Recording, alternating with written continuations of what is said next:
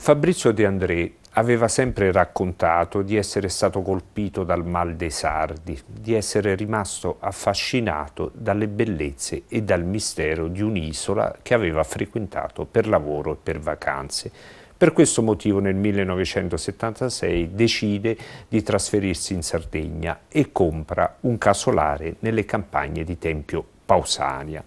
La sera del 27 agosto del 1979 Dori sente alcuni rumori all'esterno della casa, va a vedere e non fa in tempo a capire che lei e Fabrizio vengono presi da una banda di rapinatori sardi.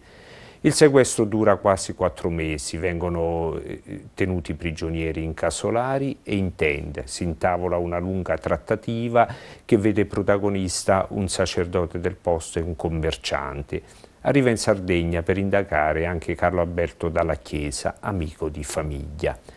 Alla fine, dietro pagamento di un riscatto di 550 milioni, vengono liberati.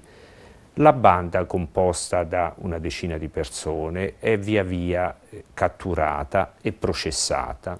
Fabrizio De André si costituisce parte civile contro gli organizzatori ma non contro la manovalanza che considera vittime e questa terribile esperienza gli farà scrivere anche una bellissima canzone come Hotel Supramonte.